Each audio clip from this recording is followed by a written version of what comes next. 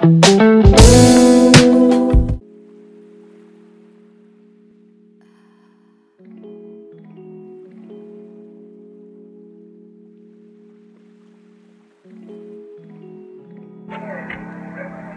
guys, good evening. So, welcome back to my channel. So, for today's vlog is I'm gonna with you my review and experience taking back Fendi. Yan. So, siguro a lot of you is alam mo tong product nito. Kung hindi pa nakakaalam, this video is for you guys. So, first thing, disclaimer muna. Disclaimer lang. I'm not a professional in medical field. I'm not a dietitian, doctor, or nutritionist whatsoever. This is my own experience sharing with you guys. And gumawa din ako ng mga question na question siya before bago ko siya binili and bago ko siya i-try. So, please keep on watching. So, yun guys, let's start sa introduction muna. Muna? Muna, nung product. So, Friendly, Philosopherol. Ano nga ba yung Friendly? Ala, may mga nag-research ako sa FB, tinatawag siyang Miracle Pill. Kasi nga maraming testimonials, marami daw na sa pagaling yung mga sakit nila. Like for example, is yung mga cancer, yung malalang mga sakit. And mas famous siya sa pagpapagaling ng PCOS and pwede ka daw mabuntis. Yun. Yung mga wala daw pag-asa ng mabuntis is pwedeng mabuntis dahil dito sa miracle pill na to o Friendly. So, basahin muna natin yung ano na, description. Cholecalciferol is essential for the efficient ut- utilization of calcium in the body. It also plays a major role in cell development and keep, keeps the immune system strong. So, yun yung description niya. Kung kulang din kayo, a lot of yun naman, pag calcium is nakukuha natin siya sa milk. Kung yun nga, pag yung sa buto, calcium, di ba? Pwede din daw siyang essential for the efficient utilization of calcium in the body. Kung kulang kayo ng calcium yun yung sa buto, and yung calcium nakukuha siya sa gatas, if I'm not mistaken, pag umiinom kayo ng gatas, yung bones nyo, yun, titibay siya. So, pwede din daw siyang ganon, calcium, kung kulang kayo, it's good. Tapos, next is yung cell. Yung mga sirang cell daw, repair tissue, yun daw kaya tinawag yung miracle pill kasi nga halimbawa may sirang tissue or may sakit ka. halimbawa like cancer, di ba nasisira yung mga cells mo, yung body at yung cells mo nga, yun yung cells and tissue sa katawan, nare-repair niya. Kaya siguro, kiniklaim nila na nakag- nakakagaling talaga siya ng mga sakit. So, next is, ilang piraso siya. So, 60 soft gel capsule siya. Ganito yung itsura niya guys. May kasama siyang ano. Ganito siya. Ayan. Parang Myra siya, pero mas maliit sa Myra. Ganun. Yan, clear lang siya. And, 1,000 IU soft gel capsule per, per capsule na 1,000 IU. And, formulation niya is, in soft, soft gel capsule contains cola, cholecalciferol, vitamin D3, 1,000 IU. Indication for treatment of vitamin D deficiency.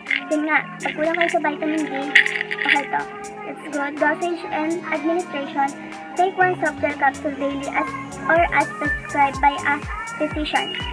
So, yun nga, kung may mga sakit kayo and gusto nyo isyong itry, you should con consult pa din muna sa physician, nyo kung may mga malalang sakit kayo na kailangan ng advice bago mag-take ng mga vitamins. Yun. And Magkano siya? So, ang Fendi is 580 pesos. then precaution, do not accept if the seal is broken if you are pregnant, nursing, or any health condition or taking any medication. Consult your health care provider before taking the product. So, ayun yung precaution niya. And, ang lifespan nito is 2 years, 2021 to 2023. And, manufactured for iPhone. So, Unit 1 Phone Corporate Pasig yun. And then, yun lang naman yung nakalagay dito, storage and condition. Yung mutual naman, yung 30 degrees Celsius, and then halal certified din siya. And, ayun. So, yun guys, yung nakalagay sa pinaka-bottle niya. Yan, ganyan siya. So, punta na tayo dun sa mga question. So, first things question na sinerge ko talaga is magkano ba talaga yung per day. So, may mga nakita ko doon na 300 something and that's a fake guys. Legit na fake talaga siya. Ano yan? So, ang presyo niya talaga is yung original price, price niya SRP is 580 pesos. So, no more no less, 580 pesos for 60 soft gel capsule. So, kung yung makikita kayo na mas mura, mag-doubt na kayo kasi hindi siya hindi siya less than 580. And kung bibili kayo, marami din ako nakikita mga reseller or distributor sa FB na ganon. Siguro mag-research kayo kung bibili talaga kayo sa ganon na legit authorized distributor daw ganon. May mga tunay pero dun tayo sa legit. So, second question is much more important is kung saan ko siya bibili. So, ang dami ko din nakita sa FB. So, yun nga, ang dami ko ng light store Charot. So, ayan guys. Saan ko siya nabili? So, nabili ko siya sa pinaka Shopee official account na ilalagay ko sa description account. Description account, ilalagay ko sa description box. And maglalagay din ako ng screenshot dito sa screen kung ano yung pinaka logo niya sa Shopee. So, meron silang Shopee Mall, official Shopee account nila. Ang pangalan ng Shopee nila is iPhone Philippines. Yes, official nila yun. And doon ka talaga makakabili ng legit na trendy. And may marami pa silang mga ibang product na pwede nyo tingnan na gusto nyo i-try. So, first thing guys, ba't ko siya binili?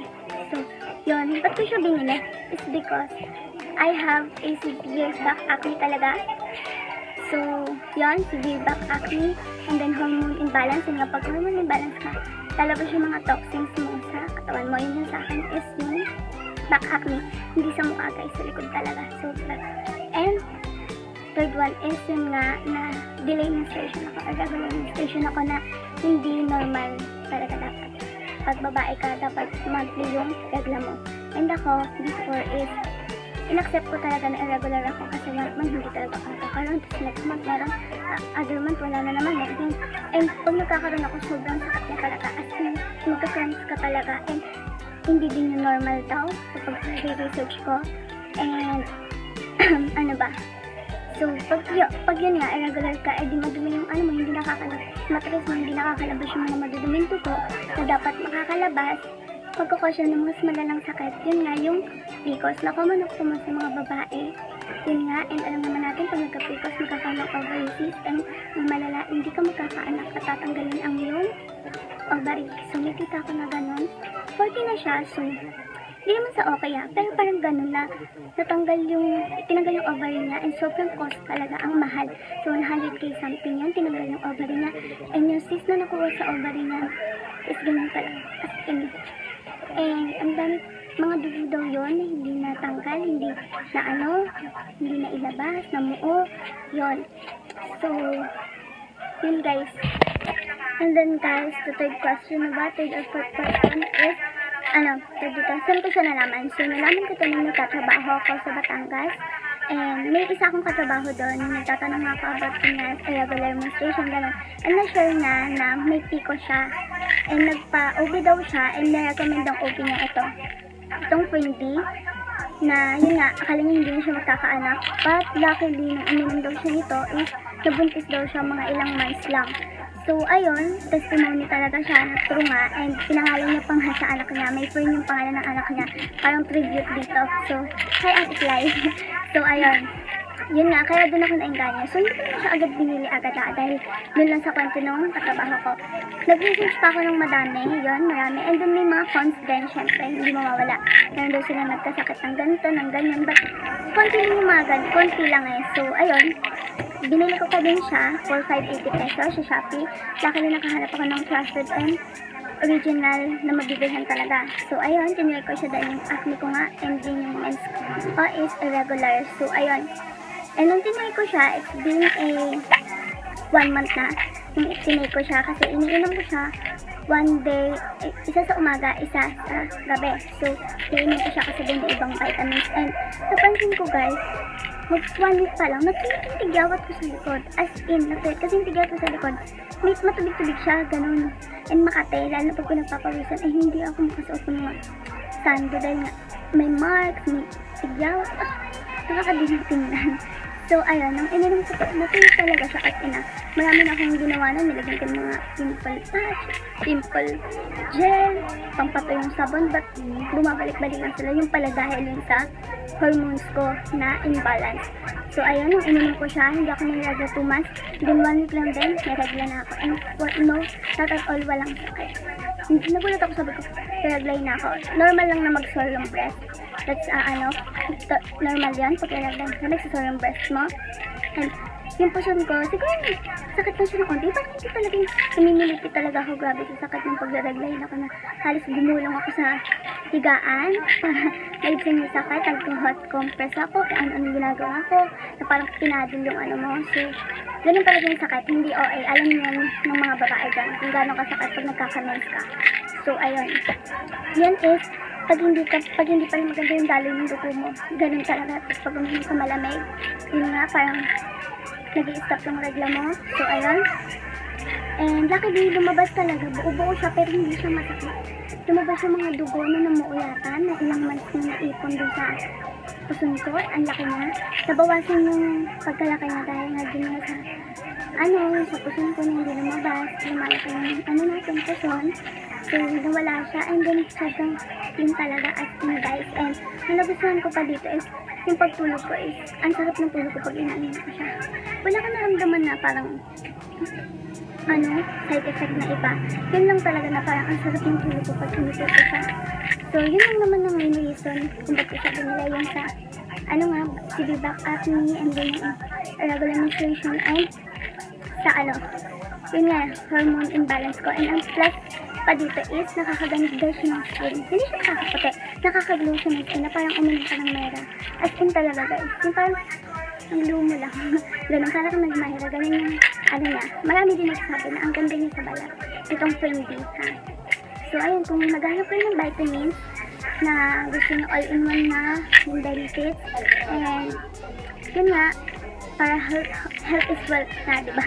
So, ayun, tinry ko talaga siya and sobra talaga effective talaga siya sa akin and masasabi ko na thankful ako dito dahil na ano yung ano ko, regular menstruation ko kasi natatakot ako na mas umakit pa siya stage na mas malala kaya inagapan ko na agad siya. So, wala naman ditong therapeutic na kung allergic ka sa something, may mga ganun kasing product na allergic sa oil fish. Wala naman siyang kiniklaim, but sinasabi ko nga, magpa-check up pa din kayo sa doktor nyo or OB nyo kung meron kayong nararamdamang iba bago kayo mag-take nitong Trinity. Pero kung okay naman kayo, wala kayong ibang manilang sakit and gusto nyo lang mag-boost ng immune system, perfect to sa inyo. Magpang vitamins and for skin din. Ang ganda talaga na guys. So, yun lang naman ang main concern. So, kung i-share sa inyo, ba't ko siya binili? And hindi ko na din ipapakita yung ibang other, other pagpapagaling sa iba kasi hindi naman yung main reason. Ba't ko siya binili? Yun dun lang guys, ba't ko siya binili. So, di ba? And yung mga sinabi ko iba din is based on my research lang. And then, experience ko talaga. So, sana may natutunan kayo guys. So, thank you for watching. See you on the next one.